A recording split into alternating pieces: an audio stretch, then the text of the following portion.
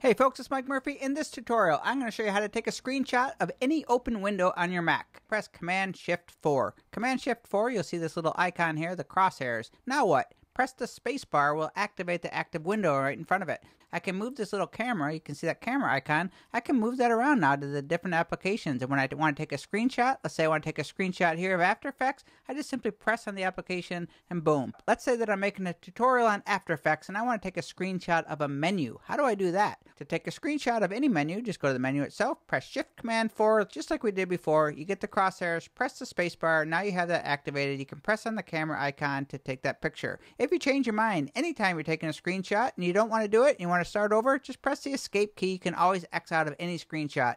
If you want to do a sub menu here, if I want to go one of these sub menus, I can do the exact same thing. Press Shift Command 4, hit the spacebar to activate the first window, hover my camera icon over the other menu, now I will take a screenshot of that sub menu. And you guessed it, if you want to copy any menu to your clipboard rather than sending it to the desktop, all you need to do is open up the menu you want to copy.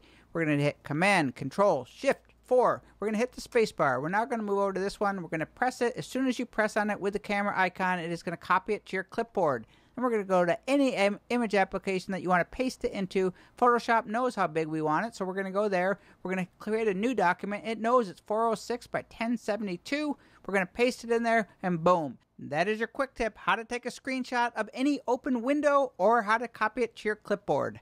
Cheers.